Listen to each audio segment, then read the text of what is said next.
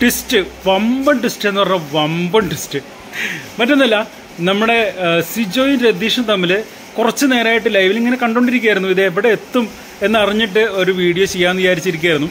പൊരിഞ്ഞ വഴക്കാണ് അങ്ങോട്ടും ഇങ്ങോട്ടും. ഇനി അവർ എന്തൊക്കെ പറയാൻ പറ്റുമോ അതൊക്കെ അതിൽ പറയുന്നുണ്ട്. സിജോ അതിനിടയ്ക്ക് നോറയുടെ പേര് എടുത്തിടുന്നുണ്ട് ഗബ്രിയുടെ പേര് അങ്ങനെ ഒന്ന് രണ്ട് ആളുകളുടെ പേരെടുത്തിടുന്നുണ്ട്. നമ്മുടെ പവർ ടീം പവർ ടീമിനെ സമ്മതിച്ചേ പറ്റൂ കേട്ടോ. സായി കട്ടയ്ക്ക് പറഞ്ഞു. ഇരുന്ന് സംസാരിക്കാൻ പറ്റുമെങ്കിൽ മാത്രം സംസാരിച്ചാൽ മതി. എഴുന്നേറ്റ് സംസാരിക്കുകയാണെങ്കിൽ രണ്ട് പേര് രണ്ട് റൂമിലിട്ട് പവർ ടീമിന്റെ അധികാരം വെച്ച് പൂട്ടും.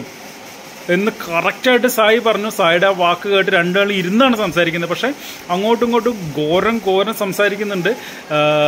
എന്തൊക്കെയാണ് പറയുന്നത് എന്നുള്ളത് അവർക്ക് തന്നെ അറിഞ്ഞൂടെ. സിജോയുടെ തീ അണയ്ക്കാൻ വേണ്ടി വെള്ളം കൊണ്ടാണ് ഞാൻ വന്നിട്ടുള്ളതെന്ന് രതീഷ് പറയുന്നു. സിജോ പറയുന്നു നിങ്ങൾ കണ്ടെയ്നർ ലോറിയിൽ വെള്ളം ഇറക്കിയാലും അത് അണയാൻ പോകുന്നില്ല എന്ന് പറയുന്നു. അവസാനം ബിഗ് ബോസ് രണ്ടുപേരെയും കൺഫെക്ഷൻ റൂമിലേക്ക് വിളിക്കുകയാണ്. കൺഫെക്ഷൻ റൂമിലെത്തിയപ്പോഴാണ് ട്വിസ്റ്റ് മനസ്സിലാവുന്നത്. കാരണം ഇവർ രണ്ടുപേരും കൂടെ പ്ലാൻ ചെയ്ത് ഉണ്ടാക്കിയ ഒരു അടിയായിരുന്നത് അല്ലാതെ അവർ ഒറിജിനലായിട്ട് ഉണ്ടാക്കിയ അടിയല്ല. ആദ്യം സിജോ കൺഫെക്ഷൻ റൂമിലേക്ക് പോകുന്നുണ്ട്. അതിന് പുറകെ രതീഷ് പോകുമ്പോൾ എല്ലാവരുടെയും യാത്ര പറഞ്ഞ് പോകുന്ന രീതിയിലാണ് പോകുന്നത്. അവിടെ ചെന്നപ്പോഴാണ് ഇവർ ചെന്നവിടെ കെട്ടിപ്പിടിക്കുന്നു. സ്വകാര്യം പറയുന്നു നമ്മൾ പറഞ്ഞ കാര്യം ഏറ്റു എന്ന് പറയുന്നു. ശരിക്കും പ്രേക്ഷകരായ നമ്മൾ പോലും ഞെട്ടിപ്പോയി. ഇതിന് മുമ്പ് പ്ലാനിങ് ലൈവിൽ കാണിച്ചിട്ടുണ്ടോ എന്നറിയില്ല. ഞാൻ കണ്ടിന്യൂസ് ആയിട്ട് ലൈവ് കണ്ടിട്ടില്ല. ഇപ്പോൾ ഈ അടിയുടെ സമയത്ത് ഞാൻ വിചാരിച്ചു ഇത് റിയൽ ആയിരിക്കുന്നതാണ്.